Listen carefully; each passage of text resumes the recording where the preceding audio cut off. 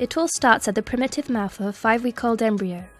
At the location of the future dental arches, the epithelium of the primitive mouth is called odontogenic epithelium. Under this odontogenic epithelium, the mesenchyme is turned into ectomesenchyme, arising from neural crest cells.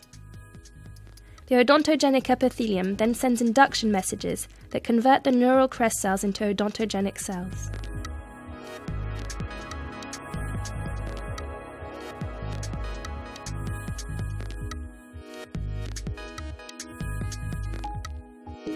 Then, by shift of the mitotic spindles of the basal cells, the odontogenic epithelium proliferates and then becomes invaginated, forming a U-shaped band known as the primitive epithelial band. This primitive band bifurcates into a primary dental lamina on the inside and a vestibular lamina, which will eventually form the vestibular mucosa on the outside.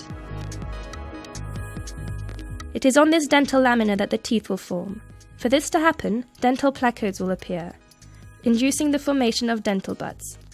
The ectomesenchyme then sends signals that trigger localized cell proliferation. The bud thus turns into a dental cap. This cap is formed around the dental papilla. It is surrounded and protected by the dental follicle. The germ of each deciduous tooth is thus formed with a certain time lag.